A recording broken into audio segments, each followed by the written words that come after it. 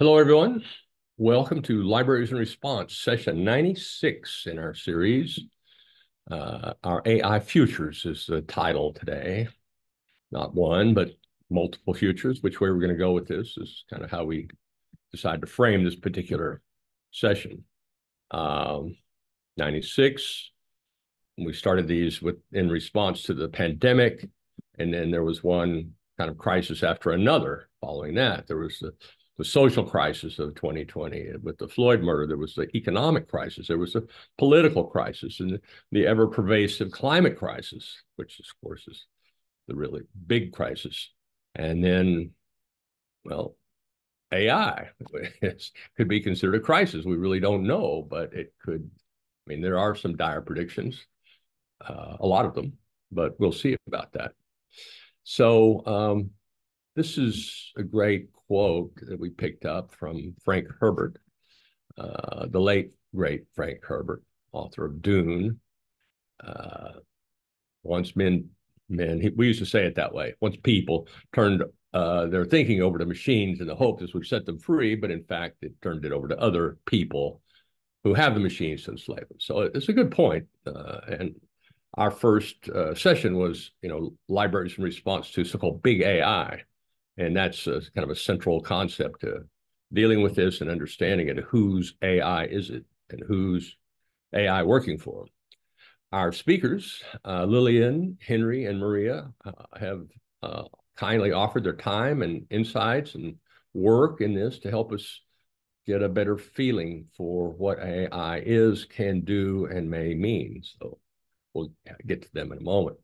We are the Gigabit Libraries Network. This is a 13-year-old uh, consortium of libraries working on interesting activities, uh, technology-related, communications, or in this case, uh, AI, uh, anywhere. And uh, one of our primary uh, policy objectives in working with IFLA, who is our host and recording this, has been in towards universal public access.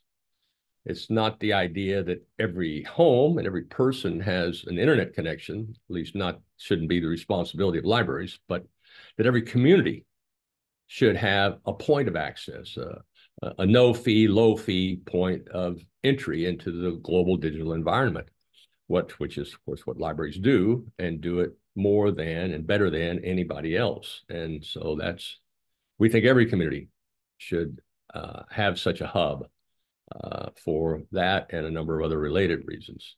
Uh, our key sponsor is IMLS, the Institute for Museum and Library Services. We thank them so much for their contribution. Uh, and these are other sponsors we have, and we thank them all. Internet Society, uh, Library of Michigan, New Jersey State Library, uh, a couple of media sponsors, Library Journal, and Broadband Breakfast. So these are upcoming sessions. Uh, you may have noticed we we took a spring break uh, for the last uh, two, maybe three weeks now. So uh, hope you missed us. Uh, but uh, we're back and we've got programming cranked up here. So one of the things we did just recently was uh, a tribute to Crosby Kemper, the now former head of IMLS.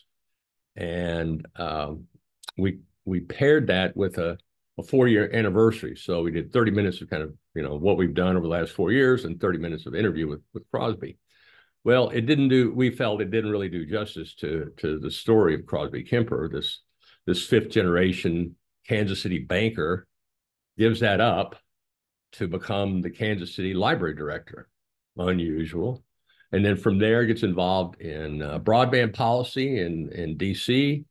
And then from there uh, is nominated by ALA to take over as the head of a federal agency, which he had no experience doing. He ran a uh, a city library, but uh, and then suddenly, of course, within two months, it's a pandemic and everything is closed. So here he's running a federal agency out of his basement in Kansas City for two years.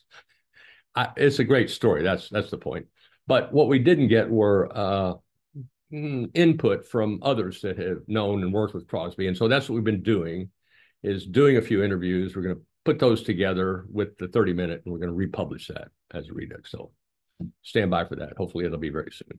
Uh, next to Thursday, uh, we're going to fo focus on the the media guru, uh, uh, Marshall McLuhan, and how his his understanding of media and literacy relates to AI literacy. So, is AI a medium? That's a question. I'm not sure about that. Uh, the following week, we have Cory Doctorow returning, always popular, always controversial. And then the following week, we'll be actually in Brussels in at the uh, Computer Privacy and Data Protection Conference, which this year uh, focuses on AI. Uh, GLN has been awarded uh, press credentials, so we're going to cover the conference. And we're also going to try to make the point that it's great. I mean, it's essential that that government try to uh, manage and restrain uh, commercial tendencies with this technology, and that there are system controls to be in place, guardrails and such. But our point is that unless users are actively participating, put another way, any regime will uh, be undermined by careless or clueless users. So that points to education and training, which points to libraries. And we'll be making that case live in Brussels. They've given us space, and we're going to have a session at our usual time, which in Brussels will be, I think, 1500 uh, UTC. And then uh, from there, we're going to focus on public AI. This is an idea. Uh, that a number of people have been working on. Uh, a really fascinating notion that should we only rely on Amazon and Google and Microsoft, much less Facebook, to provide us with this service? no, would be my response. Uh, absolutely. If there's another way to do that, of course, a nonprofit doing an open thing would be one way, but th this is really challenging stuff. Perhaps only government has actual resources to provide uh, uh, an AI that could be trusted. So it's a fascinating concept and one that would be very relevant to libraries because if you're building this and you apply the principles of libraries, the, the services, the, the openness, the trust factor, all of that, you and use those as founding principles for a public AI, you've got you've gotten a long way. And then after that, we're going to look at this uh, term of polycrisis. I'll touch on that in a minute well, right, like right now. So this is our favorite graphic on, uh, you know, what the poor world is up against. Uh, of course, uh, the pandemic was the the crisis that we launched on. The climate is just getting more and more intense and harder and harder to ignore. Not impossible. It's surprising how how possible that is actually to ignore by some. Uh, and, and, war has even kind of come back on the scene as this something that hadn't really been a global issue until recently. And, and then AI is joining the gang there, and the poor world's lamenting the days of he only had to worry about it, only had to worry about the threat of nuclear annihilation. So try to imagine a, a, a network, a global network of libraries, like the 400,000 public libraries kind of surrounding this globe, kind of holding it together. And that's that's the vision we're trying to perpetuate.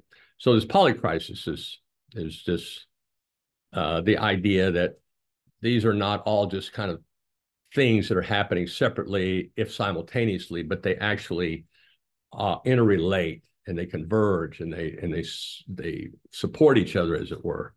And uh, and this group, the Cascade Institute, has uh, been doing research on this. It's a, it's a fascinating concept, uh, and then they're creating sort of uh, scenarios for positive outcomes, which is welcome. So these are the sessions we've done since since we started on AI. This is today is like the 10th one. So it's like one out of 10 sessions we've done since the beginning has been AI related and, and easily the most popular since January of 2021. Those are all on the uh, the Libraries in Response YouTube channel if you want to check them out, as are all the sessions there on that channel to be found. So um, this is kind of a, a snapshot of trying to get our heads around, our hands on what this is good for, what it means, how to use it. Uh, so IFLA has developed uh, this strategic response to AI. I highly recommend this document. Uh, that's the title. It's the it's the AI Special Interest Group of of, of IFLA, uh, and this is one of their projects. And it's an extraordinary document. I mean, it's involved. So this is not something you're just going to do in an afternoon. Maybe not at all. A lot of libraries have do not do not begin to have the resources to undertake this kind of a strategic analysis of a complicated technology. But there are a lot of things in there that could be plucked out. Uh, and it does kind of underpin uh, this uh, SLATE project, which we're involved in and we previewed here uh, a few weeks ago. Well, actually, three months ago, uh, we opened it up. So these are state library agencies coping with the same thing. What does it mean? What does it mean to them as state agencies? What does it mean to them as supporters of local libraries?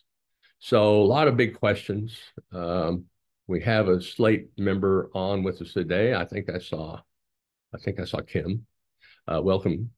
Uh, and then uh, at the local level, you know, the practical use of this stuff. And Pottsboro and Dianne uh, Connery, the uh, spark plug librarian from a small library, is kind of showing the way. You know, you just dive in, you work with it, you do things, and you can find benefits. She's built a little front end, you know, for patrons to guide patrons on their initial entry and, and questions that are largely the same and repeating uh, that, that tech support level of things. So here we are. Here's one more quote. Some people worried artificial intelligence will make us feel inferior, but then anybody in his right mind should have an inferiority complex every time he looks at a flower. This, I love this. This is, you know, this is the, the natural world is so much more complex and beautiful than anything that uh, people can create. It's just, there was a, a saying, nature at her worst is better than man, you'll forgive me, at his best. And I think that's, I think that's pretty good. So here we are with uh, Lillian, Henry, and Maria. We're gonna we're gonna ask Lillian to lead off and uh, and introduce herself a little bit. Tell us about what your how you've come to this, Lillian, what you do, and then tell us about what it is that you see AI as a uh, a future that we can actually it's worth building is the way you put it, which is a, was a fantastic kind of statement. So please back it up. Thank you, uh, Don. Thank you, everybody. Um, uh, Don, just to keep in mind, how how long? I, I want to make sure I'm keeping an eye on the clock. How long do you want me to? 12, 15 minutes. Okay. Um, so um, I'm very excited to to join you and thank you for for reading the article. And um, I I tend to think of myself as a techno optimist, although on on some days I think um, some of what we hear um, does make one feel a little bit pessimistic about the world. But um, I come from a background in um, essentially, I would I always say community and technology. Um, uh, I'm situated in the city of Los Angeles, um, but have been working at the national level um, for the last 10 plus years prior to joining New America, which is still relatively a, a, recent role, where I'm the Vice President of Technology and Democracy Programs and oversee the Open Technology Institute, which is a tech policy um, institute within New America.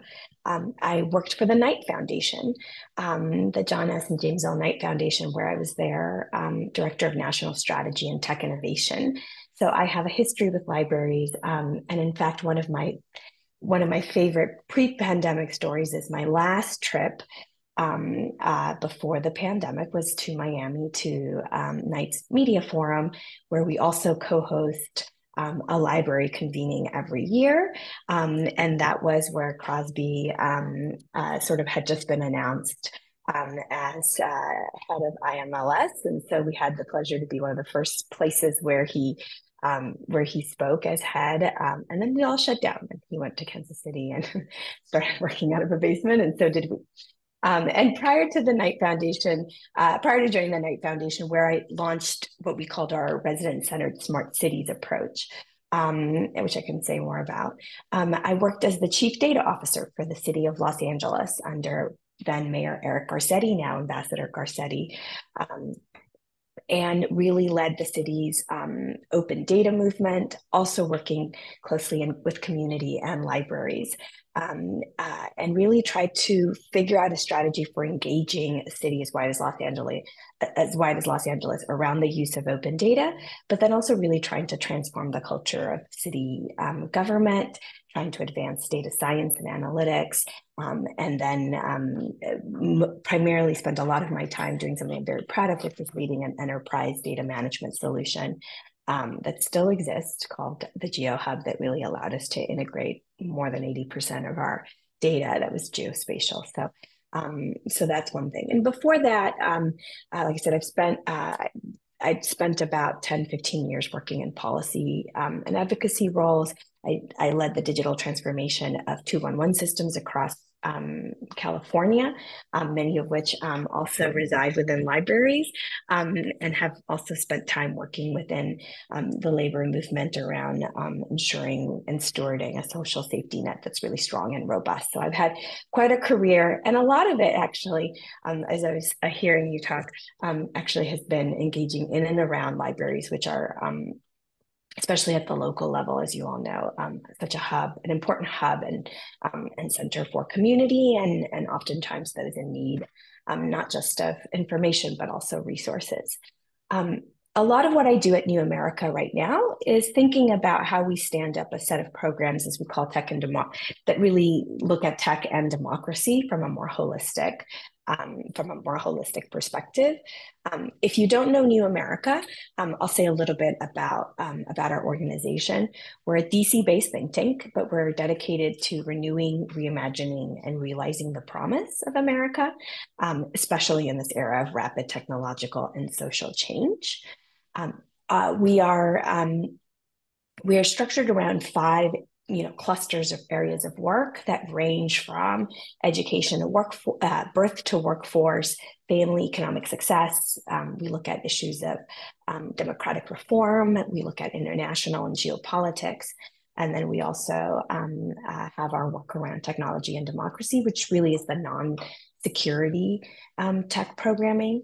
Um, and then our work is really centered around a vision of a sustainable digital future that advances equitable opportunity, innovation, fundamental rights, and participatory government governance. And so you can imagine it's really a technology that enables a democracy, human rights, and allowing our planet to flourish, which is a little bit of where um, you know some of the thinking around how we build um, an AI that's really worth pursuing, that really supports our public interest.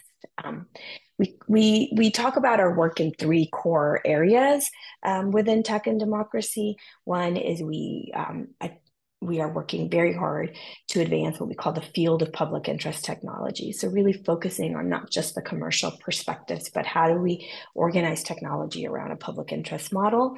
Um, and public AI definitely has something to do with that. Um, we also talk about the digital public infrastructure that's needed to support democracy. What are these next generation solutions?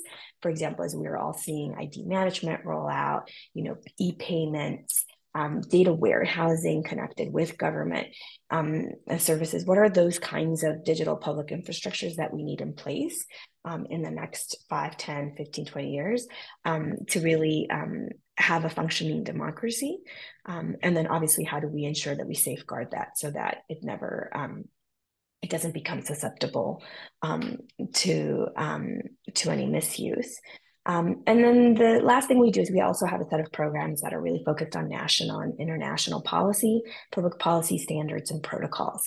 Um, and these are meant to ensure that everybody has access to digital technology and their benefits.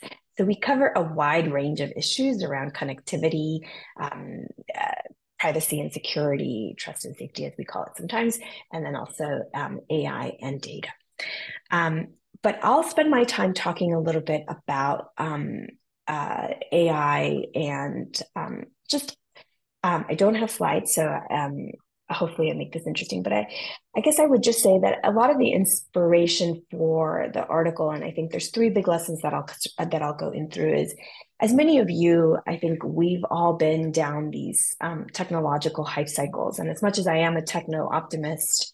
Um, at some point you can't help but notice that they are really hype cycles and there's a couple of just and, and that there are patterns um, in their wave right? And so um, so one of the things that started to stand out for me um, is that having lived through in city government through that kind of smart cities big data wave having um, really helped to support and fund a lot of cities across the us around smart cities and then actually lived through the autonomous vehicle craze which you know was a little bit of a bubble you know right pre-pandemic right and many of us many of us all felt that and then kind of sitting um, in my new role at New America last year, and now all of a sudden being kind of, um, you know, taken over by this wave of AI. It was like, what do these things have in common?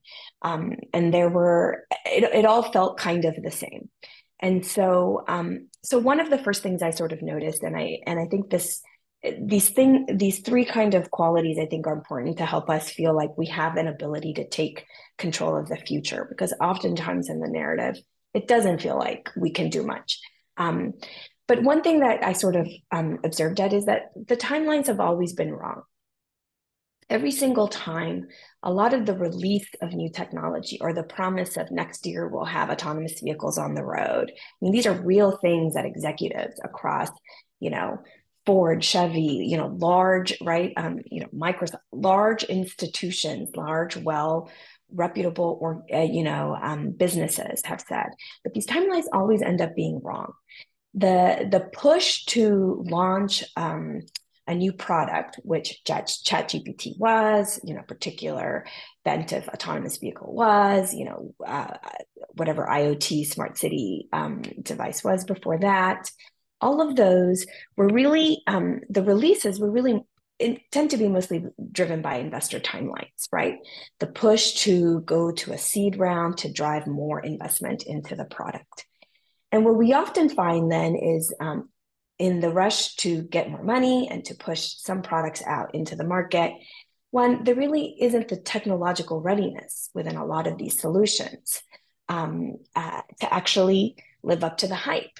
And so we started to see that at the end of um, this past year. Um, and now this year, right now, we have much more skepticism around OpenAI and ChatGPT. We started to see it actually quite early on.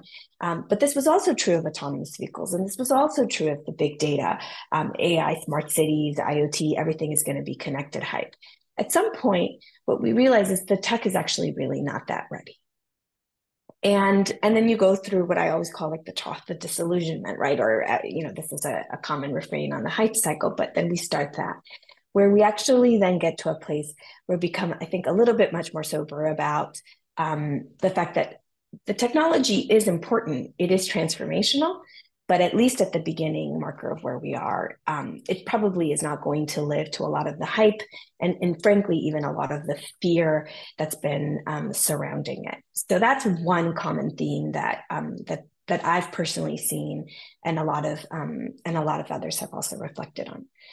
The second theme that we we see in a lot of these deployments is, and I call it, um, I use sort of the commercial term um, but uh, I call it there's a real no go-to market strategy, um, and so I picked it up, um, especially after doing a lot of the autonomous um, vehicle work at Knight, where we supported an initiative across five Knight cities, which happened to be testing natural testing grounds for autonomous com- autonomous vehicle companies. Um, that included the city of San Jose, Miami, Detroit, Pittsburgh, and Southern California. Um, and so what we saw there is so there's this release of the technology you know cars are going to be on the road supposedly next year.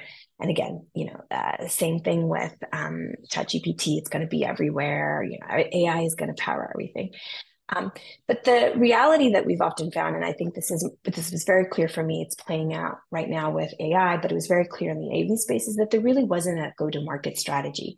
And in fact what ended up happening is the industry had to pivot um, and constantly pivot to figure out well how is it going to make money off of these cars And so if you rem- if you re- slightly recall, which you know feels like six plus years ago, we were all going to have an individual autonomous vehicle. Now the industry is kind of really focused on automating like smaller shuttles, um, or um, or really using these individual vehicles mostly for rideshare, and or the biggest kind of way than autonomous technology is really around trucking, um, where they see like that there's more of an opportunity. One, it's safer because these trucks are doing straight long hauls. Um, and two, there's probably a greater need because there's a lot of um, there's a shortage in truck drivers. Um, but the reality is the go-to-market strategy is getting shifted every single time. And so when you have a technology that's not ready, that's driven by investor timelines, and it really doesn't have a way to make money, you know that there's still a lot of development in terms of how it's going to be deployed and how um, and how it's going to impact our lives. There's a lot of unknowns. And I I I love to, you know, be in conversation with you all about that, but I feel like that's the same place we are um, with AI um, in particular. And you could see some articles towards the end of last year where OpenAI is trying to figure out how to monetize ChatGPT as an example. Um, and then the third big lesson is most of these technologies, whether it's the smart cities OTI, um, excuse me, um, smart cities IoT, I now lead OTI, um, IoT wave or the big data wave, whether it's the AV phase. And I think that this is going to be true for the AI phase. And I talk about this with companies when we're exchanging conversation all the time is we really don't have the underlying digital infrastructure for a lot of these things to scale, um, especially not right now in our country in particular, right?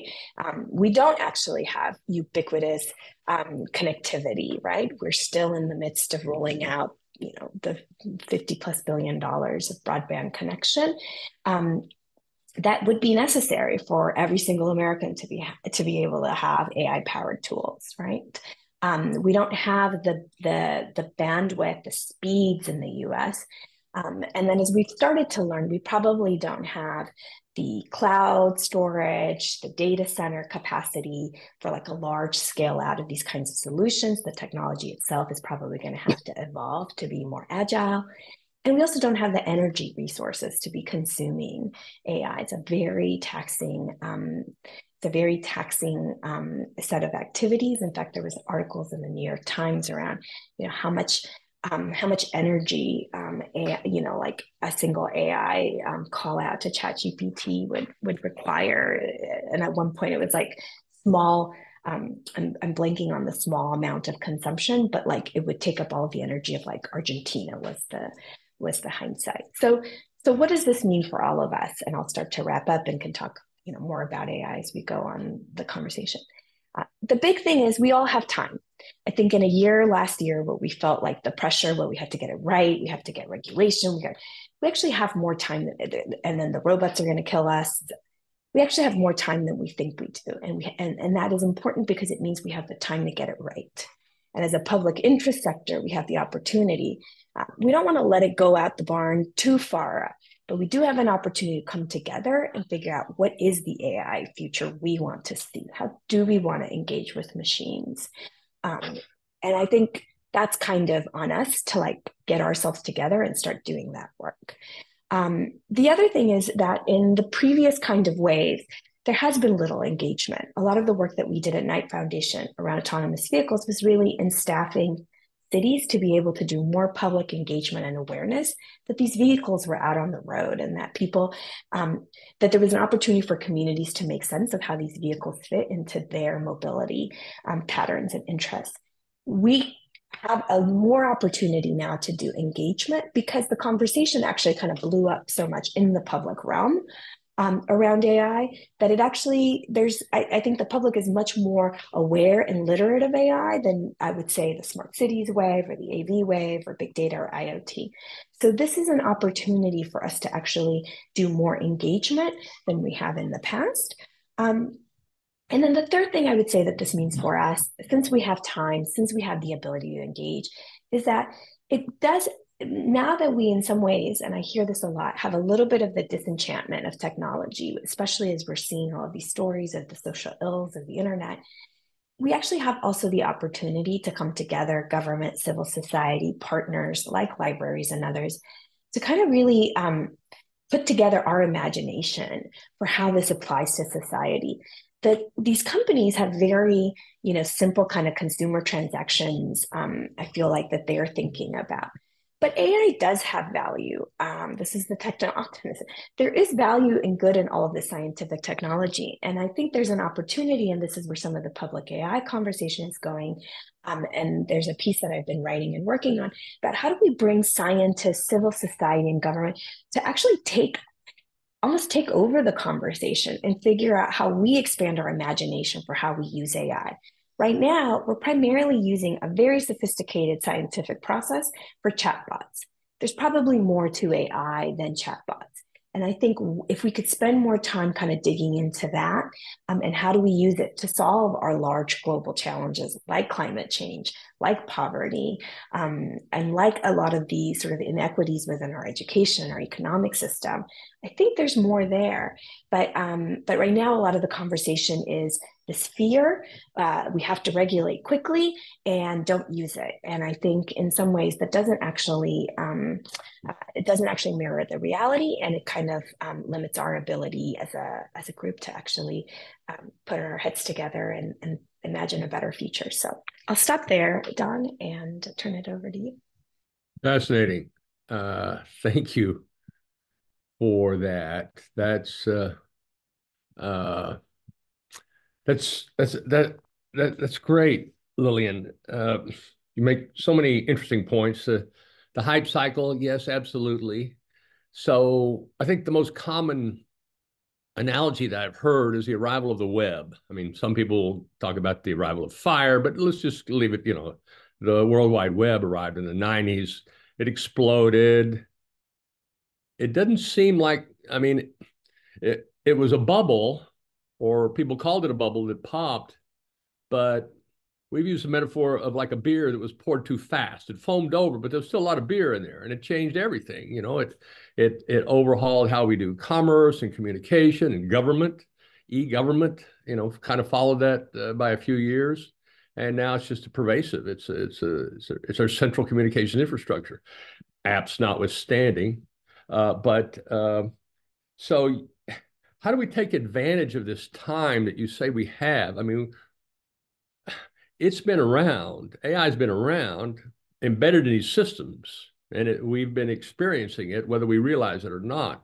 It's the the generative AI, the you know the chat application, the consumer level of AI that's I think is new, uh, and so how, how actually do we take advantage of that? What, what activities do we need to engage so that we can actually understand its potential, not get caught off guard, you know, the rest of it? What, what do you see actually doing?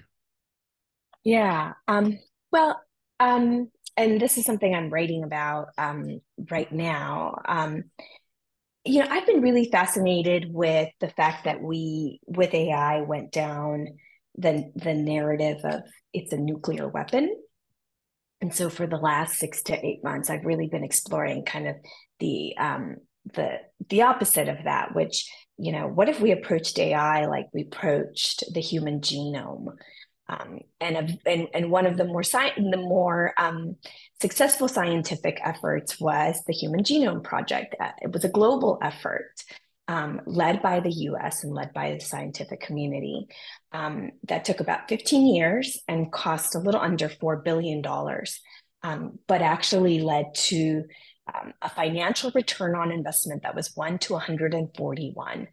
Um, you know, hundreds of thousands of jobs have been created. Industries have been um, developed subfields of of the of the kind of genome, uh, the the gene community and and, and um, scientific um, subfields have been created, um, and and now we don't. Um, you know, I was just writing about this. Like we take for granted certain things, like you know, non-invasive uh, prenatal tests. I, I, have two small kids, so I was reading about it. I was like, yes, that's all due to the Human Genome Project. And so, so one observation is, I think it's interesting that we went down the weaponization route, not something like the human gene route.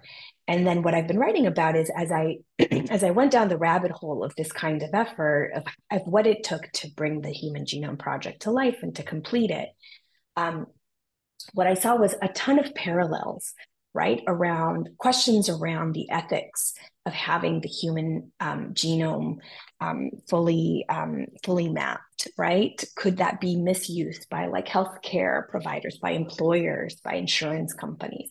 So there were ethical questions, and they solved for them. There were privacy questions, and HIPAA came about. Um, there was questions around how does the private sector, who was also in the race to um, figure this out, um, also benefit, right? So how do we, how did this be? And they figured out how to create a way in which the scientific community would map and would release data on a daily basis, and then the private sector community would use that data and start to release, um, you know, whatever derivative products of it. So the the we may be there's a part of me that is aware that we may be a little bit beyond um, beyond the the point at which the human genome started. Although that effort really was also a reaction to there's a lot of activity in the private market, and this is a public good, and we want to make sure that it's used in the right way and that we don't go in um, sort of in non ethical, non responsible routes.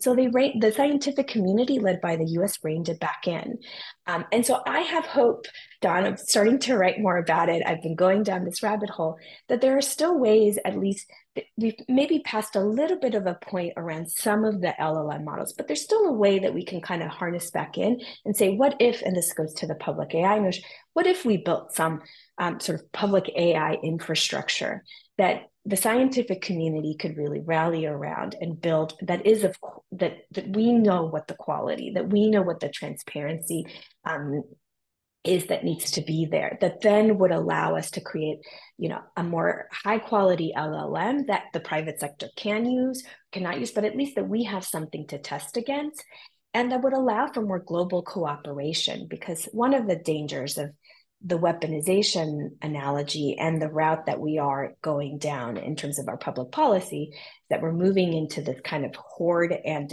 and deter others from using right? Like we don't want others to have as good as ai as us. We're going to keep it. Uh, we're going to hoard chips um, and things like that. And i think um, and that's obviously an oversimplification but once we go down that road i think it, I, I think there's actually more probability of um, you know the AI for um, the, the, AI becomes continues to be much more weaponized, and we lose kind of the opportunity for that promise um, of, of then you know creating the subfields that say how did AI become you know um, you know a, a, solution for pro, you know for climate change or whatever. We need to. This is where I say this. We still have time. Um, but we we can't just sit on our hands, but we do have time to kind of still rein in and harness um, and we have models for when we've done it with very large scale, you know, um, you know, high impact issues. So we have a model out there. Um, it's not like this is the only thing we've ever tackled um, in humanity that you know has very kind of existential implications, um, and we've done it well in the past. And so there's an opportunity to do it well here again. Good, good example, good reference uh, on that, and also excellent point that it needs to be a global effort. Uh, you know, the internet, this is the internet we're talking about. It's just a new yes. aspect of the internet, which is global and and and it just can't be cut off effectively. Uh, well, I don't know. The Chinese are doing a pretty good job of that, but uh, okay, great. So let's move on. I appreciate you uh, mentioning uh, public AI. Maybe we can get back to that if we have time. But for now, I would like to uh, ask Henry and Maria to take the floor. And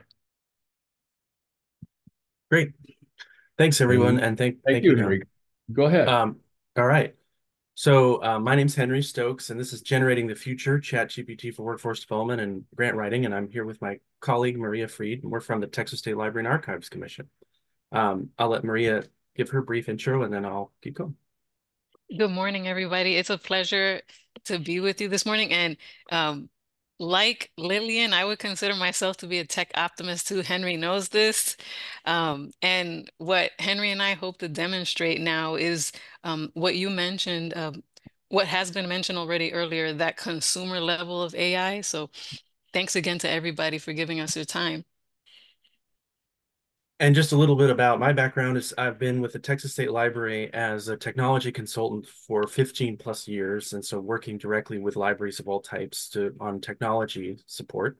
So from everything from how to how to help them get up to speed with providing uh, a technology hub for their communities and teaching their patrons the most basic of tech, all the way up to the emerging technologies and trying to help libraries be that sort of place where patrons can go to learn about them and, and engage with them and feel empowered to use them. All right, we can go to the next slide. Yeah, so today um, we're going to talk about kind of what we're seeing with ChatGPT real quick and, and get into what its uses are for libraries, patrons, and then if there's time, discussion. So first off, you know, why why do we feel like this is an important topic right now? Well, obviously there's this digital divide that's been becoming ever more apparent since the pandemic. Um, it's even more so now with AI coming along. We we see that there's this opportunity here to ensure that we bridge that gap that people are going to have and that we allow people that are normally disenfranchised or uh, cut out of these sorts of technologies to actually get to experience them, them, them experience it for themselves and feel empowered by its use so that they're not shut out from it. Um, we can see there's lots of issues here with with what the AI divide can do, um, the algorithmic bias, the the the whole idea of it of making reality and invention blurred. Um, so we see it as about making safe drivers, basically. That it's not just about using the vehicle; it's about understanding about the whole concept of driving and being able to um, get a larger systems view. So that's why we want to talk about privacy and and and security and and just how it works and and about authenticity and so it's it's more than just typing in the prompts and seeing what happens. There's a lot to it. So next slide, please. You can see, let's teach them to drive. Um, one of the things we think, just to give a little intro, is we think libraries should, one of the, they can get started by addressing this digital divide, this AI divide, in a really immediate way that provides an impact for the patrons so they can see its value right away. Um, and that's by helping job seekers and small business. So we'll we'll dive more into this in just a second. So, you know, for the library staff themselves, there's a big list, and I'm sure you've heard of a lot of these things that the the generative AI can do for you, like creating documentation and and helping you draft different uh, letters and slide decks and coming up with questions and so so many different things. We don't have time to go into every one of them but the whole concept here is you can do more with less. It frees up staff time next slide please that um, you can then you know actually do the make time for things in your uh, like working directly with patrons and, and that kind of thing. But one of the areas that I did want to focus on was was its use in grant writing because it seems like this is such a huge labor intensive activity that's uh, kind of a something that only the privileged can take part of and yet some of our especially our small rural libraries really need the, the funding but aren't don't have the capacity to do it it takes too much time and, and it itself could cost money just to pay a grant writer to do it. But I also think a lot of the barriers have to do with it being a cognitive, you know, um, challenge. Like you have to know how to follow the rules of grant writing and know how to present it for the the grant reviewer, and and follow all the rules and and um, best communicate your needs and approaches. And that's just not an accessible thing, right? So next slide. So one of the things we think about that could be helpful with generative AI is you have a brainstorming partner, someone that can actually help you create, you know, get through that cognitive load there. Um, because it's pulling from not just, you know, normally you might go on the internet and look and see what people are doing on a similar project and you, you kind of maybe do some research that way and get some ideas. Here it's pulling from the whole internet, thousands, millions of humans and their ideas.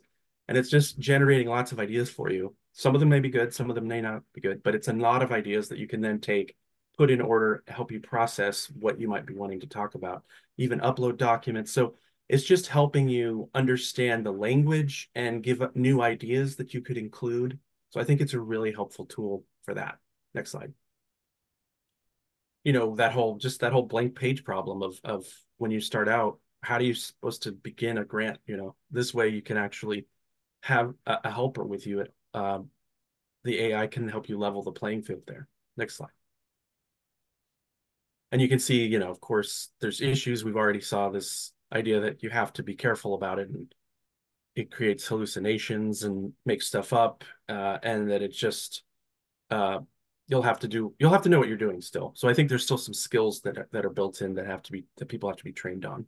Next slide, please. But then that's what libraries are for. So, um, or other community-based institutions that can support people in using this. All right, next slide. So let's talk about patrons, Maria.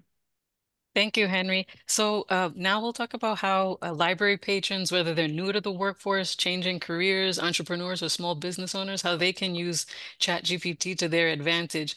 But before we get to some examples, I'd like to ask you to think about this quote from Ginni Rometty, the uh, former CEO of IBM. And she said, Some people call this artificial intelligence, but the reality is this technology will enhance us. So instead of artificial intelligence, I think we'll augment our intelligence. So what do you think of Ginni's statement? And um, what are some other ways um, we can reframing the concept of AI as augmenting human intelligence rather than replacing it, how that challenges traditional ideas of technology's role in society, particularly in terms of um, job displacement, education, or human machine intelligence. And what this makes me think of is at least two types of users and the idea of working smarter. Maybe some users might want to do more faster, others may want to do less, but still take care of business and and and uh, take care of what needs to be done. And definitely AI um, would augment or enhance uh, what both types of users already do or what they'd like to do. And this is a chart from the Zoom Work Transformation Summit that was held in January. And it shows how many years it took for these types of products or technology to reach 100 million users. So as you see, it, it took 16 years for the mobile phone, seven for the internet, and only three months for 100 million users to, uh, to use ChatGPT. And so for me, this confirms what Ginni said. Um, it does seem to show that many people think this tool does enhance their lives in some way. And I wonder how the rapid uh, adoption of ChatGPT, how that might affect other changes um, in how we operate as, as a society. And one last quote I'd like to share with you um, is from the Chief Technology and Innovation Officer of Accenture, Paul Daugherty. And he said, the playing field is poised to become a lot more competitive, and businesses that don't deploy AI and data to help them innovate in everything they do will be at a disadvantage. So, what do you think of this statement and um, the idea of entrepreneurs, businesses, and job seekers future proofing themselves by keeping up with AI and tech advancements? And what other considerations should we keep in mind um, regarding AI and the workforce? And as you'll see in the upcoming videos, by expanding our patrons' capabilities with AI, uh, this is another way to equip them with those necessary skills to uh, help them thrive in our society that values AI, tech, and digital proficiency. So uh, now we'll look at an example of how ChatGPT can be used to uh, create a cover letter. These And the key to standing out to get a job is the cover letter. Here's how you use Chat GPT to automate the process of writing a customized cover letter for the jobs which you want to get. So I've already selected a sample job. Obviously, this is not a job I'm going for, but this is just a sample job. And I've highlighted the text from the job description. I've also highlighted the experience I've had. So what we're going to do is we're going to come here and we're going to say, write a cover letter to apply for this role. Copy this, paste it in here, press enter. And so now we're starting to see how people can really stand out. Now, the one thing I look at as part of every applicant that comes through is their cover letter. Have they spent time to customize something for us, the people that are actually hiring? And some jobs get 500 applications. So the cover letter is key. So now it has now started to write all the things. Now we want to say, we're going to copy our experience, and this could be copied from a CV as well, and say, update the cover letter to include the following experience. And so now it's starting to integrate the experience I have as part of the application form, as part of the cover letter. This is such a great way to stand out. Now, obviously, this is the first kind of attempt. And so the real key with this tool, with ChatGPT, is to refine it, right? And so we can say, for example, now like this one, rewrite it more conversational and a bit cheeky. Right? Because now you want to have a bit of personality. And I can tell you that personality stands out from across all the cover letters. So you can do a cover letter, that's a win. If you can do a cover letter that stands out, that's a bit more cheeky, right? That will actually help you to get the interview. Look at what this tool can come up with, right? This is a customized cover letter, which anyone can do for the job that they want. But it does take a bit of time to select the jobs that you want to apply for and to really spend some time crafting it. And one more point that could be like a bit long. We want to say, write it again, but use shorter paragraphs. And again, because sometimes you want it to be super tight and super kind of easy to scan. And we want it to not be big chunks of text all together. And so look at the thing that it's coming up with. This is pretty amazing stuff. This is highly recommended for anyone who's looking to stand out as part of their job hunting process.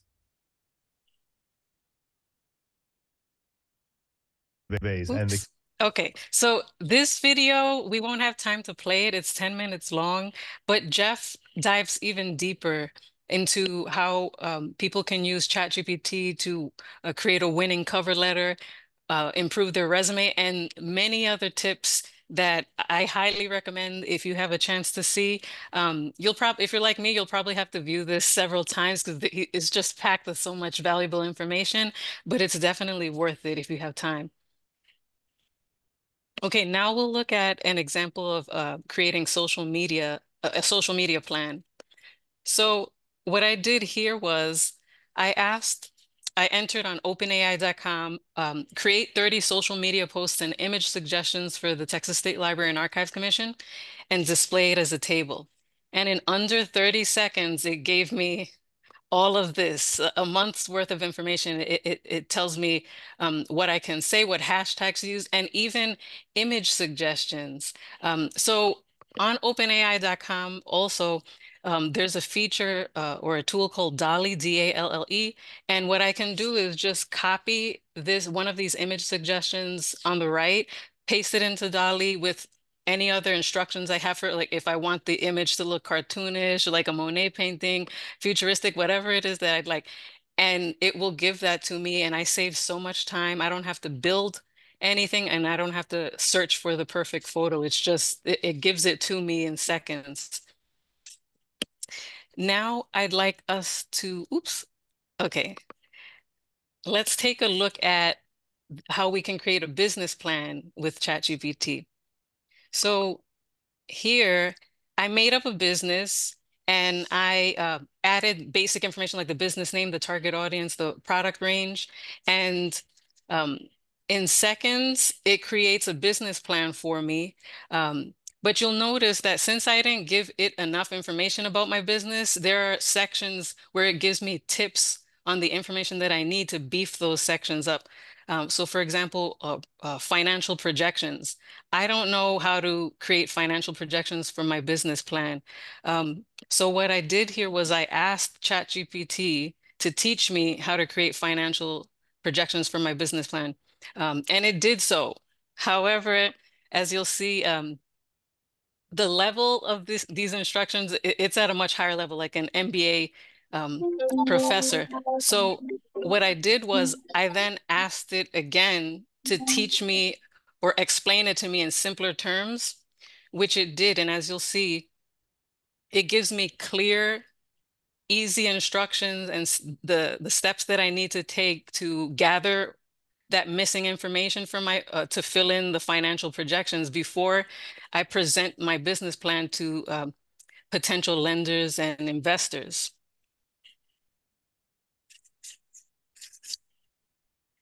Okay, so there are many libraries in, many cities around the, the country that have amazing AI programs for their patrons, but here we'll just highlight a few. And it was Brooklyn Public Library that got Henry and I on our journey to find out what libraries in Texas are doing with AI. Um, and as you see here, uh, they offer ChatGPT classes for uh, resume and cover letter writing.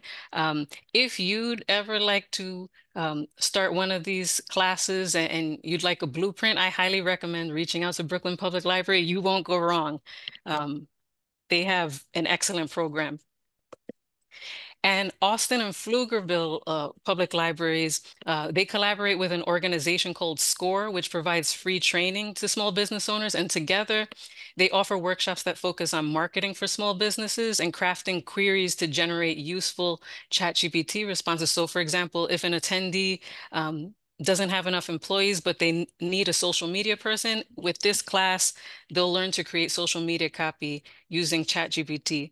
And um, here we have a workshop from Pflugerville Public Library on how entrepreneurs and business owners can learn to use AI to improve their workflow and social media content while saving their time and energy.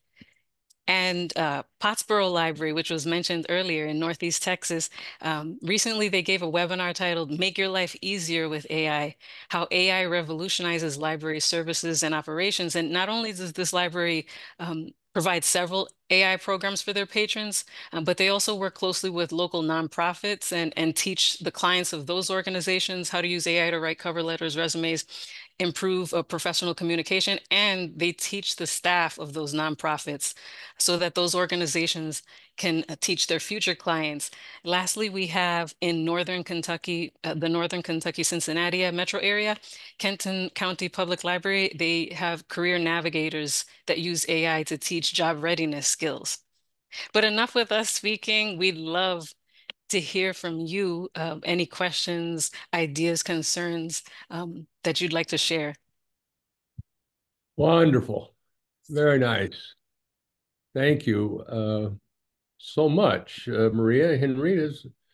That was a, a, a cram course workshop. what what uh, occurred to me was uh, the idea of doing a workshop on grant writing. That could be a really practical thing, and it would, you know, maybe we can talk about doing one on one of these one of these sessions. Uh, you know, using AI for grant grant writing. a number of uh, people have commented that it's kind of an escalating situation where people are using AI to apply for things, and then the companies are using AI to identify the applications that have used AI, and you know. Uh, to kind of sort them out and discount them. You think that's a danger? Yeah, in fact, that that one that the one that was doing it with the career navigators, one slide, a couple slides before, they actually have a subscription. We didn't mention this called JobScan, where it actually it's an AI tool that lets you uh, optimize your resume to a to bypass the other AI that's trying to, you know, uh, you know let it in. So in other words it's it's yeah ai is talking to ais like you're talking about. So I, I think it's a real thing so we'll have to be thinking about that. And and then there's the uh the issue of uh here you can stop sharing right now. Uh there's this issue of who who is ai actually serving? You know there's the uh the point about who's the first uh, the first order of responsibility is the AI primarily responsible to its owner or to its user? I mean, if we look at the current web, we would say, well, the, you know, it's Google and Facebook and you know Microsoft, et cetera, uh, and that they're often abusing that position or they're leveraging it. Let's put it that way uh, to their own uh, to their own benefit. So do you think that's a concern? I mean, we can open this up to everybody, Lillian you too. Do you think that's a concern that that we need to be aware of who it is that AI is serving? I mean, they can call it a personal AI, but you know, if it's not actually serving my interests, then I don't think it's really personal. Anybody? Henry? Yeah, absolutely. I mean, it's we have to know who it, it's it's a tool that's being owned by a, a, small number of companies here, and and I think we want it to be something that's um, open and transparent, and um, I think we want those are definitely concerns we need to be aware of and go moving forward, and educating so, our communities about it too. That's the point. That's the point. Uh, so do you see this as one of the primary activities of libraries is to help users understand what it is that uh, they're leaving themselves open to or where the dangers of using AI, you know, benefits, dangers kind of thing? literacy. It's the whole thing about learning how teaching people how to drive. It's like yeah, yeah. Part of it yeah. is safety. Yeah. Yeah, yeah. And and that's a historic role for libraries, and people would would uh they would gravitate that because they've they've been doing that for a long time on various other kinds of literacy in general, data literacy, media literacy, et cetera. So that's that seemed like a, a primary activity. That's the other part, uh, Lillian, that I thought was interesting today is sort of dividing the conversation into the, you know, the world of tomorrow that AI could uh, transform and the world today where AI might do practical things for libraries and their patrons. And I, we heard several practical things that they can do today. Uh, and grant writing being one of those, organizing, creating slideshows. We, we've seen a lot of this kind of thing that are that are be very helpful to a lot of people. Um, uh, we're right at the hour, but I would like to just kind of go around again on this idea about public AI and the idea that uh, some kind of body or multiple bodies, uh, governmental bodies uh, that could uh, uh, develop something that everybody could use uh, as a as an offset for these commercial products that tend to well, if we just watch the evolution of Google search, you can kind of that's the snapshot story right there. It went from fantastic to now, you know, it's okay, pretty good, but it's now it's getting worse, packed with ads, guided uh, results, and uh, just less reliable, less objective than I think it used to be. We all were so amazed about it. Uh, 1999, wherever that thing came out. So, any thoughts on public AI? I think we've lost uh, lost uh, Lillian, but that's okay. One thing that I'd like to share that, that comes to mind for me is uh, like even though we have many unanswered questions, I can't but help think that uh, whether patrons or, or libraries, um, by thinking about whatever, if they have a current goal, what is that and how they can use AI to their advantage uh, while those questions are being answered um, and focus on um, what goal they have and what's the next step to reach that goal and incorporating AI uh, to their benefit. Um, that's what, and that that brings me back to being a tech optimist. That and and that's why I'm hoping to learn from everybody else. What other concerns are there? Um, so that's what I'd like to add. Okay, all right. Well, that's a good open question. Uh, let's see what is in the chat. I don't see anybody with any questions. Uh, oh, wait a minute. Thank you, Lillian. She left us. Great way of getting around people. Uh, transparency. I take your point, uh, Maria, that something's happening today.